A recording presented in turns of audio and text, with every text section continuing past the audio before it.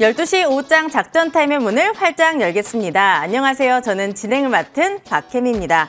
어, 지난주는 강한 반등이 나타났다면 이번 주는 좀 쉬어가는 분위기입니다. 특히 CPI 발표를 앞두고 시장은 굉장히 조심하고 있고요. 또 엔비디아에 이어서 마이크론의 실적 쇼크 우려에 투자 심리도 많이 위축돼 있습니다. 코스피는 2,500선이라는 벽을 뚫기가 굉장히 쉽지가 않은데요. 현재 시장 상황 조금 더 자세하게 들여다보겠습니다. 어, 코스피는 그간 조금, 조금씩이나마 꾸준히 낙폭을 줄여왔는데요. 오늘 6거래일 만의 하락인데 최근 며칠간 장 막판의 힘이 굉장히 좋았습니다. 그 점을 기대해보면서 오늘 장을 좀 바라보시면 좋을 것 같고요. 종가 기준 2개월 만에 어제 2,500선을 뚫어냈는데 지키기에는 아직까지는 힘이 좀 부족한 것 같습니다. 현재 코스피 같은 경우에는 0.7% 하락하면서 2,485선에서 움직임 보여주고 있습니다. 코스닥도 확인해 보시죠. 코스닥은 하루 걸러 상승과 하락을 반복하고 있습니다. 어제는 올랐고요. 오늘은 어제 상승분을 모두 반납하고 추가로 더 밀리고 있습니다. 특히 시가총액 상위 종목들이 맥을 추리지 못하, 못하고 있다는 점, 시장을 이끌던 제약 바이오가 매물 소화를 거치면서 전반적으로 밀리고 있다는 점이 시장의 부담 요인으로 작용을 하고 있습니다. 코스닥은 현재 1% 넘게 하락하면서 824선에서 움직임 보여주고 있습니다. 코스피 수급도 함께 확인해 보시죠. 어, 코스피는 외국인이 10거래일 만에 차익 실현에 나서고 있습니다. 오늘 조금 매도 물량이 많습니다. 그리고 오늘 선물 쪽에서 외국인 강한 매도세가 나타나고 있다는 점이 시장에 상당한 부담으로 작용을 하고 있고요. 항상 외국인과 반대로 움직이는 개인은 오늘 물량을 주워 담고 있습니다. 그리고 기관은 방향성이 모호한 갈짓자 행보를 보여주고 있는데요. 이런 점 참고를 해보시면 좋을 것 같습니다. 코스닥도 확인해 보시죠. 네, 코스닥은 최근에 수급 방향성이 굉장히 일정합니다. 3거래일째 개인의 매수, 외인과 기관의 매도세도 3거래일째 계속되고 있습니다.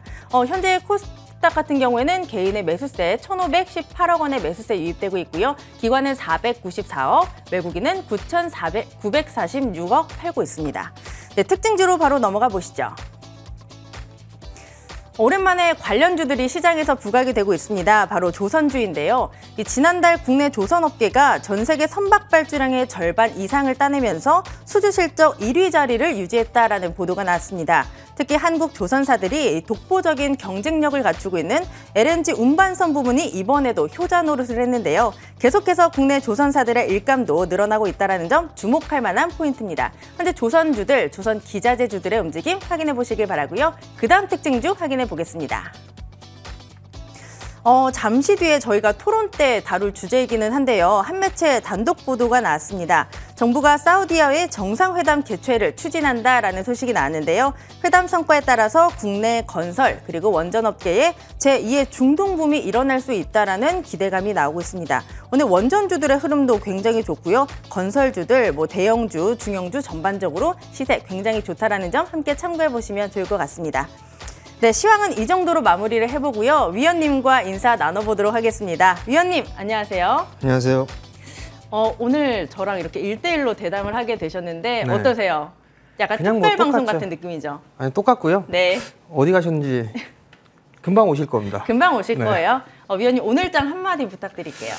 예, 시장이 내일이 옵션 만기일이에요. 어, 내일이 좀 옵션 만기를 앞두고 있는 그런 사항들인데 수급적으로는 그렇게 썩 좋은 그런 모습들은 아닙니다. 어, 외국인 쪽에 선물이 좀 대량으로 매도가 나와주고 있는 그런 모습들이고 어, 현물 또한 마찬가지로 매도가 좀 나와주는 그런 모습들을 좀 보여주고 있는데 우선 봐야 될 부분들은 내일이 좀 옵션 만기를 어, 앞두고 있는 그런 사항들이고 금일 이제 미국 쪽에서는 지표 발표가 예정이 되어 있는데 지표는 일단 잘 나오는 게 좋습니다. 침체로 가느냐 이 부분들이 아니다라는 부분들을 생각을 해볼 수가 있기 때문에 일단 지표는 좀 잘 나오는 게 좋을 것 같고요.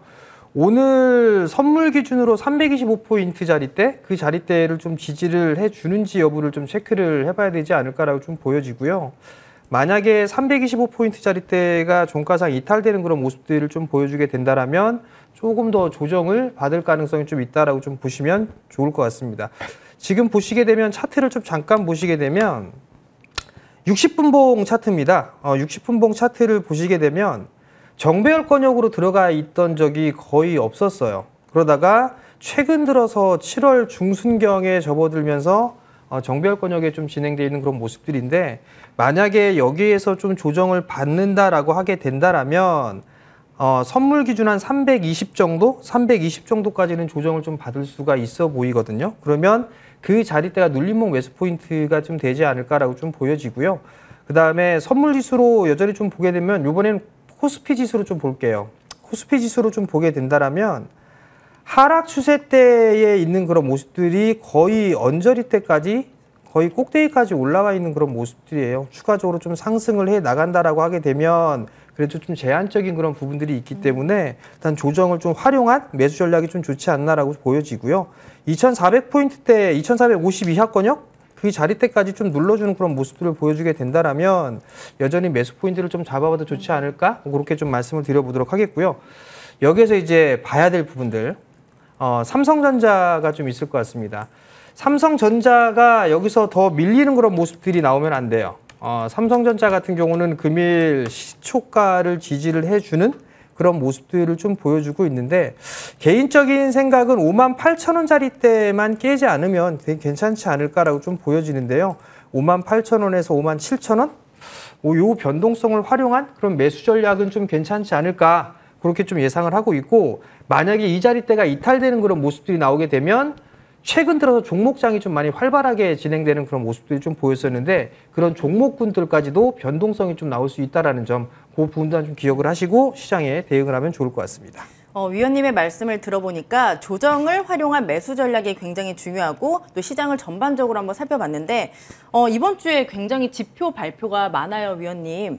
이번 주 그러니까 내일 옵션 만기를 앞두고 있고요. 또 이로 인한 수급 변동성, 수급이 조금 꼬일 수도 있어서 이 장 막판 변동성에 조금 주의를 해봐야 될 것 같은데 좀 우리는 내일 어떻게 대응을 해봐야 될지 궁금하네요.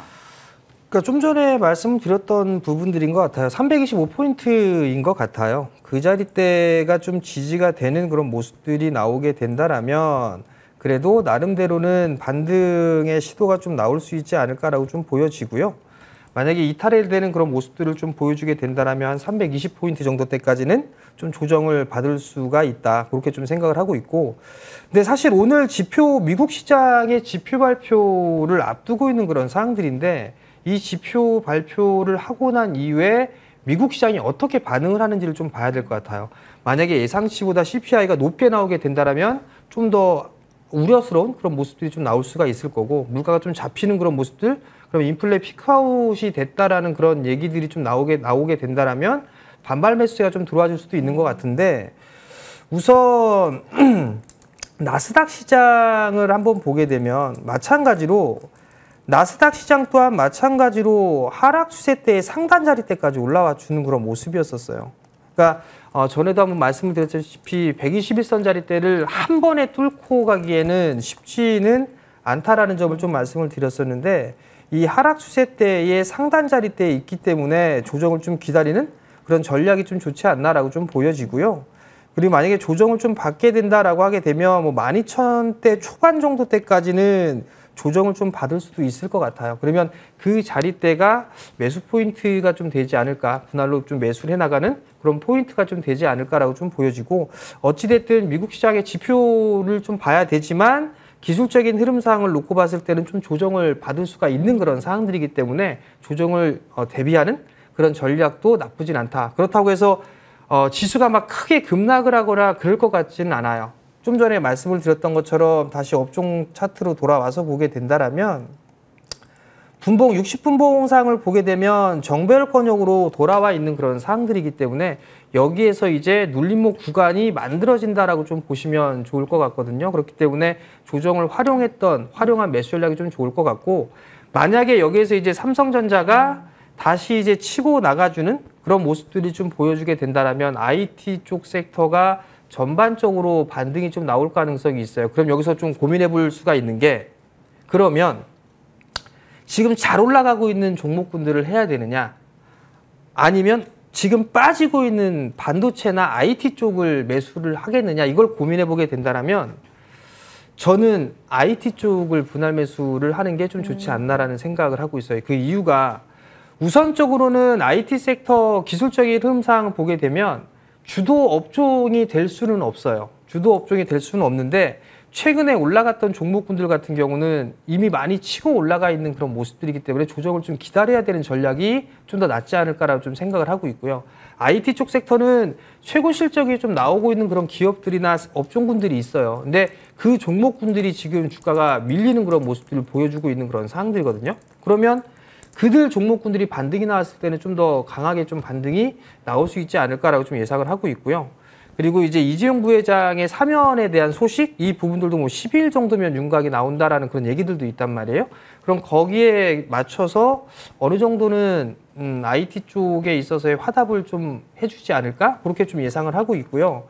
어, 대체적으로 좀 보게 되면 반도체라든가 디스플레이라든가 이런 쪽도 있는 그런 상황이지만 단기적인 이슈로 보게 되면 오늘 폴더블 폰 발표가 있단 말이에요. 공개가 있는 그런 사항들인데 거기에 따른 좀 관련주들도 괜찮지 않을까 단기적으로는 그러면 보통 보게 되면 뭐 KH, KH바텍을 좀 보시는 투자자분들도 있을 거고 세경하이테크라는 기업을 보시는 분들도 있을 거예요. 그 이외에 종목군들이 좀 많은 그런 사항들인데 다른 IT 반도체 쪽이나 이런 쪽보다도 세경하이테크 같은 경우 이렇게 견조한 그런 모습들이 좀 보여주고 있거든요. 그러면 61선 부근 자리대가 19,000원대 초중반이란 말이에요. 이 자리대까지 눌러줄 수도 있는 그런 사항들이기 때문에 이 자리대까지는 뭐 분할 매수 포인트로 좀 잡아봐도 좋지 않을까. 즉 어, 이슈에 맞춰서 종목을 좀 선정하는 그런 기준으로 보게 된다라면 뭐 세경 하이테크도 나쁘진 않고 그다음에 또 한 부분들을 보게 되면 PCB 쪽 같은 경우나 DDR5 쪽 같은 경우를 좀 보게 된다라면 사실 이 인텔 쪽에서 DDR5의 출시를 좀 지연되는 그런 모습들을 계속 보여주고 있었어요. 그러면서 최근 들어 좀 많이 빠져 있는 그런 종목군들이 있었거든요. 뭐 대표적으로 보게 되면 ISC를 좀 볼 수가 있을 것 같은데 ISC도 3만 원을 좀 하회해 주는 그런 모습들이 좀 나왔어요. 실적이나 이런 쪽은 상당히 좀 꾸준하게 나올 수 있는 그런 기업이거든요. 근데도 불구하고 좀 주가가 밀려 내려왔었고 올해 아마 최고 실적을 좀 기록할 수 있는 그런 기업이 아닌가라고 좀 보여지고요. 아비코전자 같은 경우도 실적이 꽤나 잘 나왔어요. 그저께 이거 이거래일 전에 아마 실적 발표를 했을 거예요. 꽤나 잘 나왔음에도 불구하고 오히려 주가는 밀리는 그런 모습들이 나왔었거든요.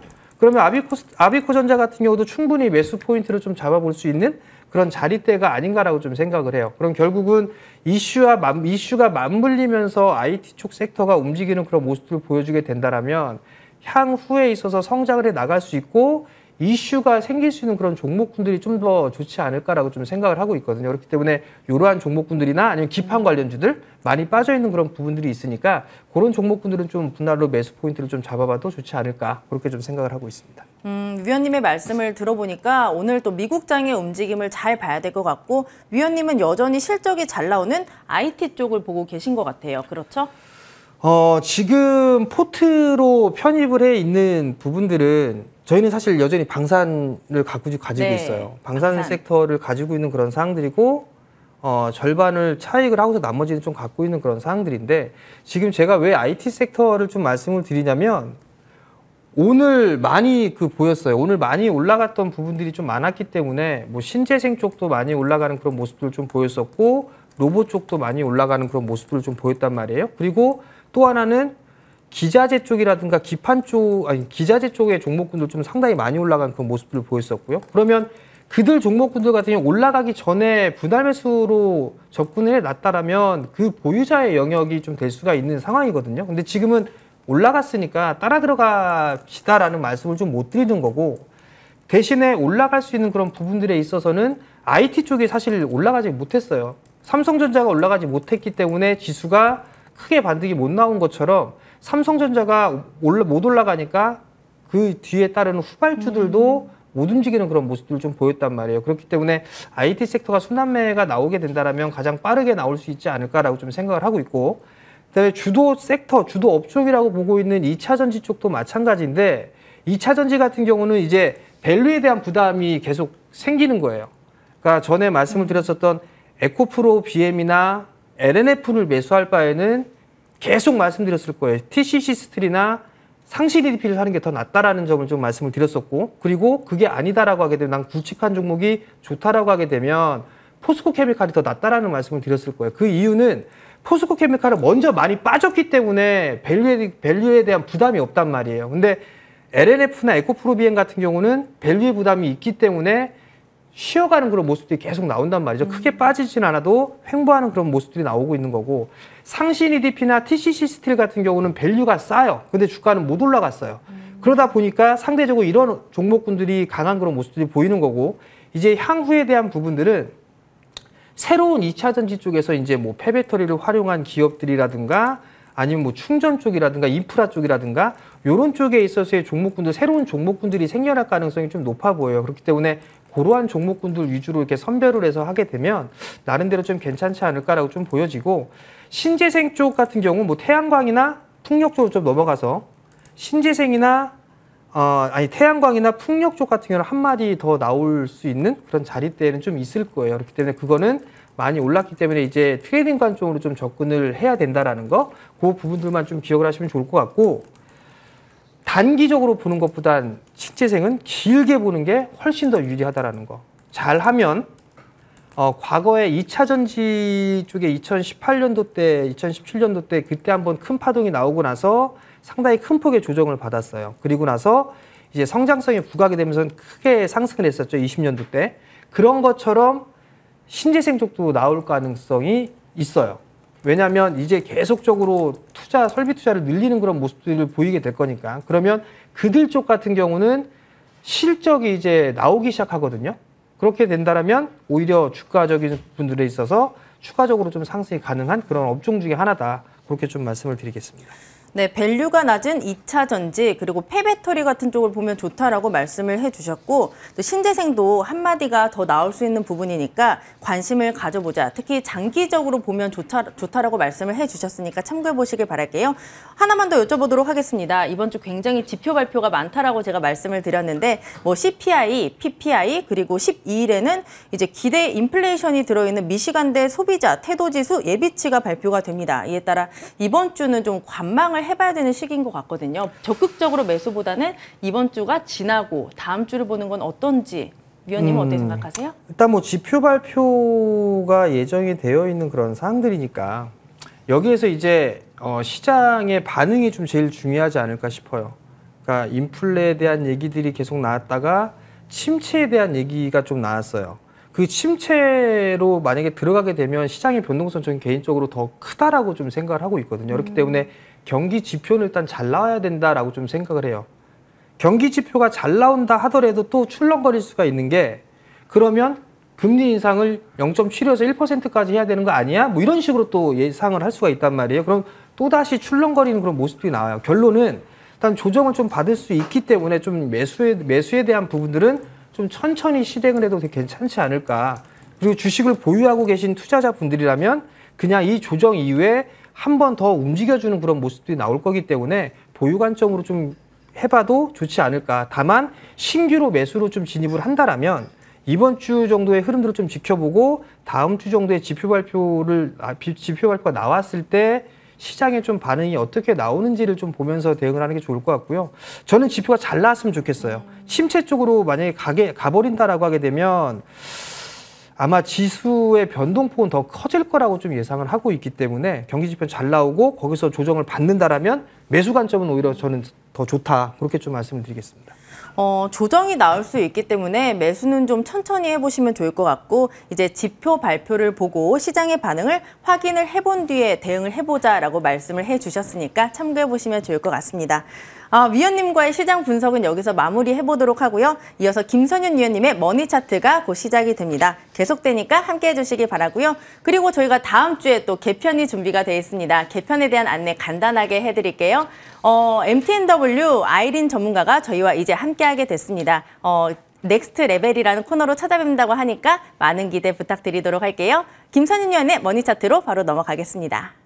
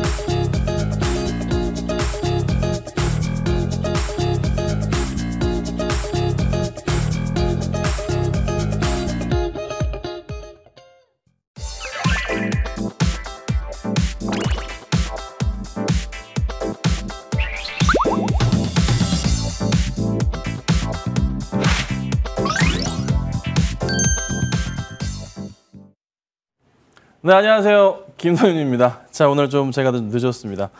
와, 오늘 정말 그 한강대교부터 통제라는데 답이 없더라고요. 두 시간이 걸리네요. 보통 40분이면 오는 거리를. 예, 죄송합니다. 자, 오늘 머니 차트 진행할 건데 오늘 종목도 좀 화끈한 종목 좀 준비를 했습니다. 음, 오늘은 15년 바닥에서 반등 나오는 종목 하나 준비했고요. 역시나 실적 굉장히 좋고요. 그 다음 종목도 아, 바닥 포인트에서 반등을 하는데 이 종목도 아, 요 근래 아마 7년, 8년의 실적을 따지고 보면 제일 좋게 나올 겁니다. 그래서 역시나 좋은 종목들인데요. 어, 둘 다 재밌는 종목들이라 관심을 가지시면 좋을 것 같은데 우선은 AS부터 좀 시작하고 어, 방송을 시작하죠. 자, 우선 셀트리온부터 좀 보도록 하겠습니다. 자, 하나씩 볼게요. 뭐 움직이니까 AS 할 수밖에 없어요. 최근에 너무 움직임 잘 가잖아요. 이 며칠째 계속 제가 AS 해드리는데 오늘 약간 조정은 나와요. 근데 오늘 조정 나오는 것은 굉장히 정상적인 흐름이에요. 제가 강조드리는 건 뭐냐면 바닥에서 상당히 좋은 모습 그간에 못 잡으셨던 분들도 제가 요날 조그마한 양복 있는 날 요 날 큰 양복 말고요. 바로 전에 오르기 전에 제가 말씀을 드렸어요. 굉장히 좋은 자리라고. 그때 사신 분들 큰 양봉, 큰 양봉, 큰 양봉 보셨겠죠. 자, 근데 오늘 자리가 살짝 걱정이신 분들 있으실 거예요. 조금은 확대를 해가지고 그 걱정이 기우라는 것을 설명을 좀 드려보죠.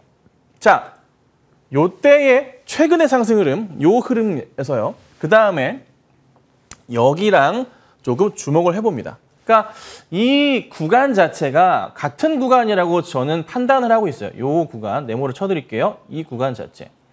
상승 흐름을 이어가는데 약간의 조정은 항상 필요한 겁니다. 여기서 한번 올라갔다가 천천히 그 다음 다시 조정이 좀 나왔다가 다시 그러니까 계단식 상승에서 첫 계단의 상승 흐름이 나온 거예요. 거기에서 어떻게 해요? 네, 약간의 조정 흐름 나오면서 오른쪽으로 살짝 길 수도 있겠죠? 흐를 수도 있겠죠? 하지만 큰 하락은 제한적일 겁니다.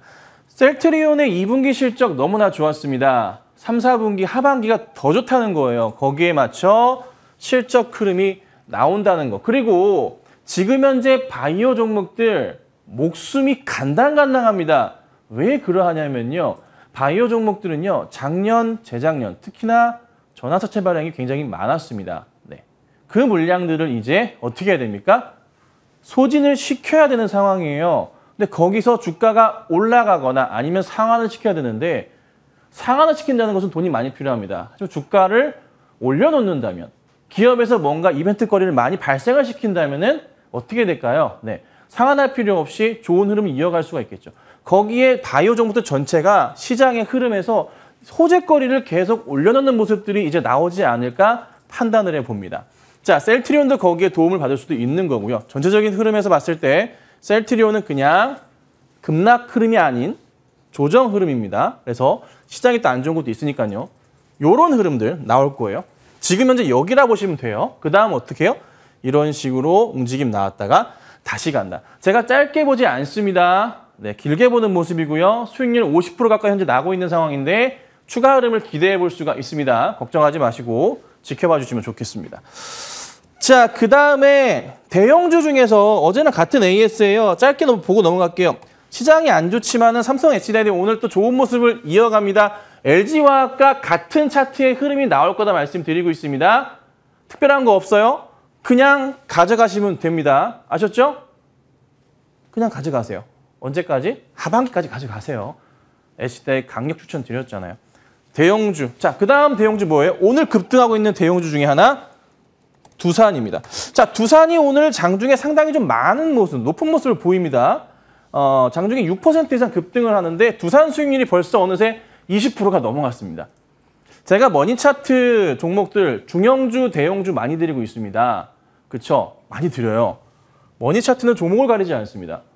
바닥부터 해서 올라가는 그림들. 자, 어디까지 갈까요? 대형주도 이렇게 7월 26일 얼마 전에 찍어드렸지만 벌써 수익률이 대형주인데 20%가 넘어가고 있다. 바닥 포인트에서 상승을 주면 은 1차적인 고점 어디다? 이 자리지만 여기 노리지 않는다. 큰 그림에서 보건데 저는 최소한 그래도 이 자리 노립니다. 이 흐름에서의 놀이, 이 자리들. 최소 얼마? 네, 10만 원 보고 있어요. 10만 원 구간까지의 상승 흐름 유지가 된다. 두산그룹 전체가 최근의 흐름 어떻습니까? 굉장히 좋은 모습 이어가고 있죠. 쉽게 무너질 차트가 아니에요. 꾸준한 추세 보일 겁니다. 약간의 조정은 있을 수 있어요. 하지만 꺾이지 않는다는 거. 요즘에 대형주 추세들 보면은 흐름상 수급 포인트가 굉장히 강할 경우에 추세가 계속적으로 이어갑니다. 자, 두산 보면요. 어, 많이 죽어있던 수급이었는데요. 갑자기 덤비기 시작해요. 네. 굉장히 양호한 수급이 팍팍팍 기관들 중심으로 해서 들어옵니다. 근데 이게 그건 안 들어왔어요. 이제 시작이에요. 들어와 주고, 그죠? 다 들어와요. 싹, 싹, 싹. 연기금도 좀 버려주다가 다시 들어오기 시작합니다. 그러니까 전체적으로 기관들이 꽉 잡고 있는 모습이에요. 기관들이 제가 최근에 잡는 종목 주목하라 말씀드리고 있잖아요. 기관들이 선별적으로 들어오는 종목들은 추이 자체가 굉장히 강할 겁니다. 그러니까 쉽게 무너지지 않고 이런 식의 흐름 자체가 계속 나올 거예요. 꼭 기억하셔야 됩니다. 이런 종목이 시장을 주도할 수가 있다 말씀드립니다. 자, 그 다음에 보면은 또 올라서 AS를 해봅니다. 에코프로 HN이 또 오르더라고요. 아, 물론 어제보단 아니었지만 오늘도 장중에 흐름이 나왔어요. 근데 제가 강조드릴게요. 이거 지금 계단식 상승이 나오는 거고 약조정이에요. 약조정. 이런 약조정이에요. 지금 빠지는 그림이 아직은 안 보이고 있어요. 제가 조금 더 봐야 된다고 말씀을 좀 드립니다. 대표적으로 그린 케미칼 같은 경우에도 주가 흐름이 굉장히 좀 강한 모습을 보이다가 약간의 좀 횡보하고 있어요. 이거 제가 최초 추천드리고 나서 사신 분들 계속 수익 중에 있는데 수익이 굉장히 많이 나고 있어요. 많이 나고 있는데 이거 횡보하고 있는 모습이 좀 포착이 되고 있거든요. 이런 식의 흐름을 한번 고민을 해볼게요. 에코프로 HN 같은 경우에도 이 흐름을 유지하면서 네, 첫 조정이라 볼 수도 있는 자리예요. 그러니까 큰 조정이 아직 안 나가고 있어요. 조금 더 흐름을 유지할 수 있다. 그리고 에코프로 HN 같은 경우는 제 목표로 삼는 가격 자체가 얼마인가요? 제가 1차적으로 10만 원 보고 있잖아요. 10만 원 정도.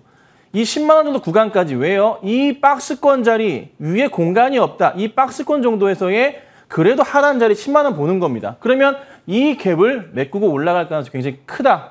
그래서 수익률 한번 대박 수익률 한번 노려보겠다. 거의 한세배 가까운 수익률을 한번 노려보고 대행을 하고 있는 종목입니다. 아, 물론 지금 따라 들어가신다는 것은 결코 추천드리진 않습니다. 종목은 제가 매일매일 나옵니다. 나오니까 방송 잘 지켜보시면서 대응하시면 좋을 것 같네요. 자, 그 다음에 마지막 AS 종목인데요. 명신산업이에요. 오늘 약간 빠지긴 하지만 어제 장중에 11%까지 급등이 나왔습니다. 추천하고 나서 안 움직였어요. 가만히 있다가 어제 급등을 하기 시작하면서 좋은 모습을 이어갑니다. 제가 테슬라를 좀 주목해라 말씀을 드려요. 뭐 어제 물론 테슬라가 빠지긴 했습니다만 8월 25일 테슬라의 분할 이슈는 분명히 이슈고 중요한 네, 흐름상에 굉장히 중요한 포인트가 될 겁니다. 거기에 맞춰서 명신산업 바닥부터 치고 있는 모습이고 오늘 그냥 시장의 영향 따라 조정 흐름이 나오는 겁니다. 1차적인 상승 흐름을 본다면 큰 흐름을 기대할 수 있고요. 이 명신산업은 1차 고점 자리 현재 힘겨루기 중이고요. 그 다음 자리 3만 원 정도까지 자리가 있다고 말씀을 좀 드려요. 어, 이게 그런 거예요. 명신산업은 한 번 이슈몰이를 할 때마다 큰 폭의 성장을 보입니다. 어떤 특정한 그 이벤트가 필요한데 그 이벤트가 테슬라로 발생하는 거죠. 자, 거기에 회사 실적이 그냥 이벤트만 있냐 그게 아니라 실적이 너무나 좋습니다. 실적을 보더라도 바닥에서 반등이 나오면서 이 갭을 메꿔야 됩니다. 그러면서 3만 원 이상의 흐름을 기대할 수가 있는 종목이라는 거죠. 그러니까 수익률로 따지면 50% 정도의 수익률을 기대해 볼 수 있는 그런 종목 가운데 하나입니다. 쉽게 무너질 가능성 굉장히 좀 낮고요. 지금은 오늘 시장은 특히나 2월부터 3월, 4월, 5월 여기 한동안 횡보한 흐름이 있기 때문에 이 자리 올라왔으니까 우선 어쩔 수가 없어요. 네. 팔고 싶은 분들 있을 거라고요. 팔고서 밀려있는 종목 매수하려는 분들 있다고요. 여기서 약간의 힘겨루긴 있습니다. 조정 흐름이 나올 수밖에 없는 자리예요. 하지만 이 자리 조금만 이겨낸다면 그 다음 자리는 저 위에까지 갈 수가 있는 종목이다 라고 말씀을 드리죠.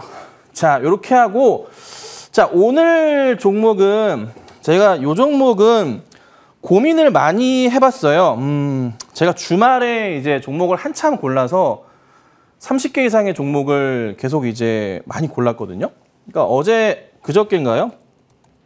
드렸던 종목 가운데 움직임들이 벌써부터 막 지능격 같은 경우 오늘 딱 막 튀기도 하고 전체적으로 종목들이 나쁘지 않은 모습을 보여주는데 이 종목은 15년 바닥이에요. 네, 믿기지 않으시겠지만 15년 바닥입니다. 경인양행입니다. 경인양행 아, 벌써부터 조금씩은 오르네요. 아침에 좀 많이 올랐네요. 자, 경인양행인데 많이 들어보셨던 종목일 거예요. 바닥에서 많이 튀어 올라갈 수밖에 없는 여러 조건들을 좀 가지고 있는데 우선 차트를 볼게요. 제가 머니 차트에서 가장 중요하게 보는 건 뭐냐면 종목을 샀을 때 물리면 안 된다. 떨어지더라도 바닥에 대한 인식 자체가 있으면서 아, 쫄리면 안 된다는 거죠. 가장 핵심이죠. 이게 가장 핵심이에요. 자, 경인양행 차트 보겠습니다. 제 큰 차트입니다. 이 차트가요, 거의 한 30년 차트예요. 30년 차트의 최저점 자리가 한 900원 초반대가 됩니다. 이게 언제냐면 2004년입니다. 자, 그 바닥, 그러니까 1000원 이탈했을 때가 역사적 최저점 자리로 인식이 됩니다. 자, 이 자리부터 해서 여기부터 해서 바닥 라인을 완성해 보겠습니다. 라인 자체를 뽑아보자면 이런 라인이 완성이 됩니다. 이게 전체 큰 차트에서의 경인양행의 바닥 라인이에요. 눈에 딱 그냥 보이시죠? 네. 이거대로 갑니다. 바닥, 바닥, 바닥, 바닥, 바닥에서 코로나 때 깊은 하락 잠깐 있었지만은 요거는 빼버리자고요. 왜 급등하는 경우도 있으니까. 다시 여기 바닥 확인됩니다. 자, 여기서부터 상승을 주는데 굉장히 중요한 거예요. 이 종목 전체적인 큰 흐름에서 주가 자체가 무너진다고 볼 수가 없는 여러 이슈들이 있어요. 대형 이슈가 뭐냐면 우선 첫 번째로 중요하게 말씀드리는 건 뭐다? 사상 최대 매출 및 영업이익에 대한 기대가 굉장히 큰 종목 가운데 하나입니다. 자, 우선은 재무추이 한번 살펴볼게요. 재무추이 보자면요. 경인양행 보시면 작년에 좀 확대해 주세요. 작년에 보면은 작년에 4천억대 매출을 기록했어요. 보이시죠? 그 영업이익이 작년하고 순이익이 사상 최대였어요. 근데 이 흐름 4천억 처음 나왔어요. 근데 올해 보면요. 상승폭을 보자면 올해 벌써 1분기부터 해가지고 올려치기 시작해요. 매출 자체가. 작년 넘어가는 추이입니다. 벌써. 작년 4천억이었고 올해 넘어가는 추이고요. 영업이익은 벌써부터 완전 돌아서기 시작합니다. 그렇죠? 눈에 딱 보이시죠? 이게 2분기, 3분기, 4분기로 계속 넘어가는데 왜 그러하냐면 지금 굉장히 중요한 포인트가 뭐냐면 반도체를 제조할 때 필수적으로 하는 게 뭐냐면요. 포토레지스트라고 핵심 연료 생산을 해요. 그 재료 가운데 하나. 그러니까 경인양행이 옷 만드는 염료가 아니라 반도체 염료까지 생산을 합니다. 감광양이라고 생산을 합니다. 거기 맞춰서 이게 문제가 또 뭐냐면 해외 의존도가 너무 높아요. 그러니까 경인양에서 만드는 감광액 자체를 일본으로 수출해서 일본에서 완성을 시켜서 다시 우리나라로 오는 이런 구조를 갖고 있습니다. 근데 이거를 국산화에 대한 진행을 빠르게 이어가고 있거든요. 거기에 계속 매출 포인트가 커지는 구조를 가지고 옵니다. 그러니까 규모 자체가 커진다는 거죠. 그래서 회사 성적 실적 자체가 계속적으로 성장하는 거고 주가 추이 자체도 이 바닥을 그리면서 계속 가는 거예요, 그냥. 그러니까 이런 바닥이 올 때마다 몇 년에 한 번 오는 바닥이냐면요. 최소 1년에서 2년에 한 번 올까 말까 한 그런 바닥이 현재 바닥이라고요. 그러면 제가 계속 강조드리지만 중요한 포인트보다 이런 바닥에서 사두면은 사실 크게 문제될 게 없어요. 그냥 세워라 내워라 조금만 기다리시면 됩니다. 이런 바닥들, 이런 바닥들. 항상 진바닥을 찾으시잖아요. 우리가 항상 고민하는 게 뭐예요? 완전 이런 끝바닥에서 종목을 매수해서 한 6개월 뒤에 얼마? 네, 20, 30% 다시 또 쭉 가는 모습. 다시 또 쭉 가는 모습. 여기서 다시 올라가는 모습을 항상 고민을 하잖아요. 이런 바닥을 사고 싶어 하시잖아요. 근데 거기에 맞춰서 뭐다? 강조드리는 거 실적이 너무나 좋고 모멘텀 거리가 괜찮다는 거죠. 올라갈 수밖에 없는 조건들을 갖고 있고 사셔도 딱히 문제가 안 되는 물릴 가능성 자체가 굉장히 낮은 종목입니다. 오히려 상승 흐름 이어가면서 좋은 포인트가 나오지 않을까 판단을 하기 때문에 경인 양행은 관심을 가지셔야 됩니다. 자, 근데 매수를 했어요. 매수했는데 어디까지 갈 것이냐는 거죠. 자, 주봉상 보더라도 1차적인 고점 자리는 바로 이 자리, 한 7천 원 자리까지 나옵니다. 자, 근데 일봉상으로 우선 고민을 해보면 반등을 좀 하려고 했던 찰나에 약간 꺾여 내려가 시장이 안 좋아서. 왜? 이때 올라갔던 이유가 뭐냐면 1분기 실적이 너무 잘 나왔어요. 사상 최대 실적에 대한 기대감이 막 반영이 됐거든요. 근데 시장이 고꾸라져 버렸어. 그러면서 다시 상승 흐름으로 가버리는 거죠. 그럼 어디까지? 최소한 여기 정도는 봐야 돼요. 얼마? 7,000원 갭은 우선 메꾸는 게 맞다는 겁니다. 7,000원 갭을 메꾸면서 추가적인 상승 흐름이 나와줘야 되는 흐름이 바로 이 종목입니다. 그래서 바닥에서 잘 잡으시고 대응하시면 좋겠습니다. 자, 그 다음 종목은 조금 또 재밌는 종목, 어, 신재생 에너지 확대 관련해서 전선 관련주입니다. 대한전선입니다. 자, 대한전선 같은 경우도 추세에서 보건데 제가 주봉상으로 고민을 많이 해봤어요. 항상 주봉을 열어놓고 보는데요. 2020년대 바닥을 좀 확인한 이후에 상승 흐름을 강하게 보이고 있는 회사죠. 자, 이렇게 나와 있습니다. 이거 주봉이에요. 바닥에서 이렇게 올라갑니다. 팡, 팡. 여기서 한 번 더 팡, 다시 한 번 여기서 빵 가는 흐름이 나와주는데 대한조선은 상당히 무거울 수도 있지만 한번 수급이 돌 경우에 굉장히 강하게 상승하는 경향이 있습니다. 많이 올라가는 포인트들이 있어요. 자, 대한조선 기본적으로 제가 말씀드린 몇 가지 이슈를 설명드려 보겠습니다. 음, 차트는 완전 제가 좋아하는 머니 차트 초입 구간이 있기 때문에 매수하기 좋은 자리고 신재생 에너지 이슈가 굉장히 요즘 강하죠. 미국, 유럽 쪽으로 해서 뭐 합니까? 태양광, 풍력, 원전 그냥 다 어떻게 해요? 열심히 어떻게 수주 물량을 늘리고 있습니다. 뭐에 따른 압박이죠? 네, 유가와 천연가스 압박을 벗어나기 위한 포인트가 굉장히 강합니다. 그런데 거기에 맞춰서 뭐예요? 뭐가 필요해요? 전선이 필요하다는 거예요. 케이블이 필요합니다. 그냥 대한전선은 모든 분야에 맞춰가지고 계속 매출이 늘 수밖에 없는 특히나 지금 상황에서 최고의 수혜주가 될 수밖에 없는 구조를 가지고 있습니다. 뭐 다른 종목들도 있지만 굉장히 큰 흐름을 기대해 볼 수도 있는 종목이에요. 자, 고민해 볼 게 이겁니다. 실적에 대한 부분 첫 번째로 보죠. 역시나 실적이 그간에 약간 죽어있던 모습에서 큰 폭의 성장이 작년에 나왔고 다시 굉장히 오랜만에 한 7년, 8년 만에 큰 폭의 회복을 보입니다. 영업이익까지 완벽하게 턴어라운드 되면서 돌아오는 모습이 실적으로 체크가 됩니다. 근데 올해부터 더 좋다는 겁니다. 그럼 거기에 맞춰 차트를 볼 때 이 자리에서 우리가 이 종목을 놔둬야 될까요? 일봉으로 볼게요. 자, 일봉으로 보더라도 이 자리에서 우리가 종목을 놔둬야 될까요? 이 라인을 지금 이렇게 완벽하게 그려주는데 여기서 이제 딱 올라가기 시작한 일봉입니다. 이 추이를 보여주는데 이거를 우리가 놔둬야 될까요? 그대로 놔둬야 될까요? 아니라는 거죠. 매수 대응하고 가져만 계신다면은 이전에 이런 추세에 대한 부분을 기대해 볼 수도 있어요. 사실 작년 이슈가 좀 돼가지고 많이 급등하긴 했는데 이 라인을 사실 이거를 상상해 볼 수도 있지만 솔직히 이거는 아닌 것 같고 1차적으로 저는 어떻게 보냐면 여기 바닥에서 회복을 하는 최소한 이때부터 이슈가 됐어요. 벌써. 이슈가 되면서 움직였다가 시장이 꺾여버렸었다고요. 다시 이 그림 회복을 할 가능성이 높습니다. 요 모양대 여기 이 자리처럼 회복을 하면서 다시 올라가는 포인트들이 나올 수가 있어요. 이런 식으로 해서 다시. 그러니까 보통 이렇게 차트 바닥 치고 올라갈 때 한 번에 장대 양봉들이 나오기 마련이거든요. 팍, 팍. 수급이 완벽하게 기관과 외인들로부터 들어올 가능성이 높아요. 굉장히 무겁게 움직일 수는 있습니다. 하지만 그런 종목이 한번 몰리기 시작하면은 굉장히 또 가볍게 움직이기도 시작합니다. 근데 그런 모습들을 고민해 볼 수 있는 종목이다. 조금은 중기적 관점에서 대응을 하신다면은 굉장히 좋은 종목 가운데 하나가 아닌가 이렇게 좀 설명을 좀 드려보겠습니다. 자, 그래서 오늘 제가 경인양행 우선 말씀드렸고 대한전선 말씀을 드렸는데 그 외의 종목들도 시장이 좀 안 좋더라도 이미 벌써부터 좋은 모습 보이는 종목이 많아요. 그간에 좀 잊고 계셨던 종목 가운데 하나 제가 뭐 AS는 아니지만 동아기업 같은 경우 혹시 기억하시나요? 동아기업? 동아기업 오늘 흐름 보면은 갑자기 좀 급등을 하고 있거든요. 네, 크진 않아요. 종목 자체가 꽤나 무겁기 때문에 큰 상승이 조금은 제한적이긴 하지만 그래도 오늘 갑자기 움직이기 시작하고 있어요. 추천드리고 나서 가만히 있었어요. 별로 안 갔거든요. 가만히 있다가 갑자기 탁 튑니다. 제 종목들이 이래요. 그러니까 매수해 두셨다가도 조금만 기다리시면 이런 흐름을 기대해 볼 수가 있어요. 팡팡팡 튀는 흐름들.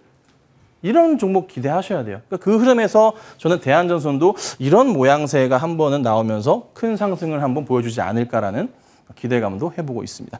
자, 오늘 여기까지 말씀을 드렸고요. 제가 조금 있다가 1시 반부터 3시 반까지 해서 공개 방송을 진행을 합니다. 음, 지난주에도 많이 들어와 주셨는데 이번 주에도 들어오셔서 오늘도 들어오셔서 또 어떤 종목들 또 새로운 종목들 많거든요. 소개시켜 드릴 테니까 참고하시고 투자에 좀 도움 되시면 좋겠습니다. 자, 여기까지 저는 진행하도록 하겠습니다.